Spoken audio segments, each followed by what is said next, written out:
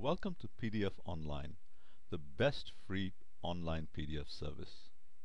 Now supposing you had an invitation you were composing on Word and had a mailing list and was sending it to a number of people.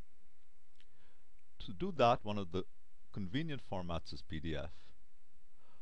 To convert your Word into a PDF document which looks exactly the same, you go to our website pdfonline.com Select the Word to PDF tab, click on the button, select on the document, and that's it. It uploads the document and is converting it. We will give you both a PDF and an HTML to pre preview the document. When it's done, just hit download and you see a preview of the document in HTML.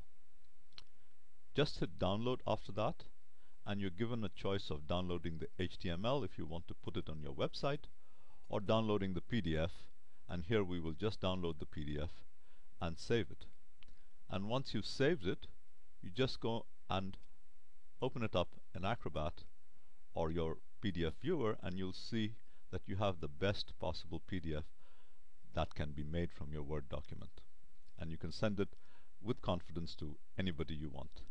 Thank you for viewing and please share with your friends.